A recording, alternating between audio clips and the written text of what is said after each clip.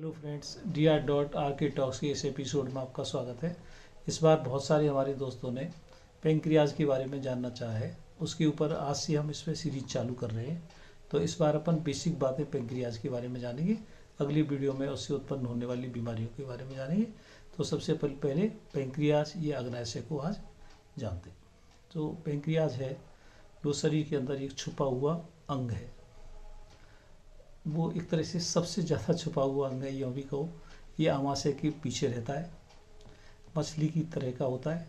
इसके तीन हिस्से हैं हेड बॉडी टील वज़न इसका केवल औसतन नब्बे ग्राम ही होता है।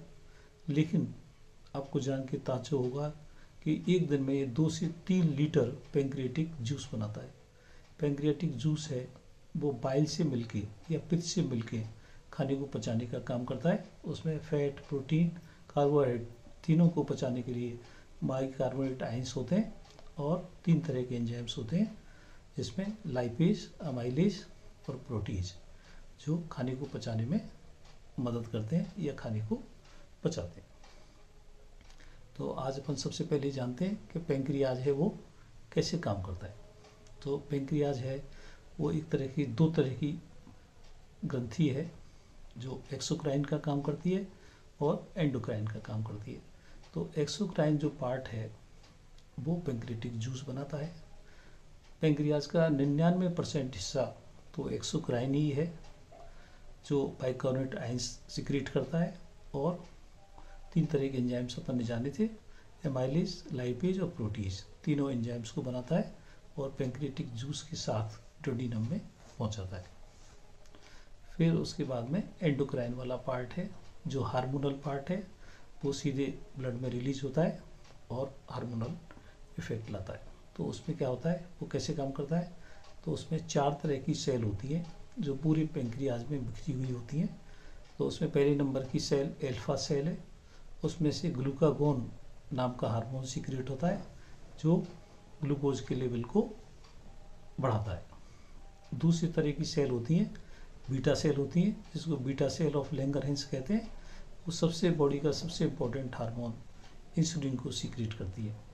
इंसुलिन की कमी अगर हो जाती है तो डायबिटीज़ आदि मनुष्य के शरीर में पैदा हो जाती है, जो इंसुलिन डिपेंडेंट डायबिटीज़ होती है। अगर किसी को बाई चांस बीटा सेल्स की कमी हो जाती है, या इंसुलिन करना बंद हो जाता है तो उसको लाइफ लॉन्ग फिर बाहर से इंसुलिन लेनी पड़ती है। फिर उसके बाद में है डेल्टा सेल, जो सोमेटोस्टेटिन नाम का हार्मोन बनाती हैं। वो इन दोनों पे कंट्रोल रखती है ग्लूकागोन पे भी और इंसुलिन पे भी। इनके सिक्रीशन को कम करता है डेल्टा सेल। फिर उसके बाद में चौथी है एंट्रोक्रोफिन सेल्स जो पेंक्रेटिक पॉलीपेप्टाइड गैस्ट्रिन और अमाइलिस तीनों तरह के हार्मोन ये बनाती है। जो हाइड्रोक्लोरिक एसिड स्टोमक में बनता है, उसकी सिक्रीशन को बढ़ाने में मदद करती है। तो ऐसे करके जो ये हार्मोनल इसका पार्ट है, जो शरीर के लिए बहुत इम्पोर्टेंट है, फिर उसके बाद अपन ये जानते हैं, मान लो पेंक्रियाज है तो उसमें क्या क्या बीमारी हो जाती है।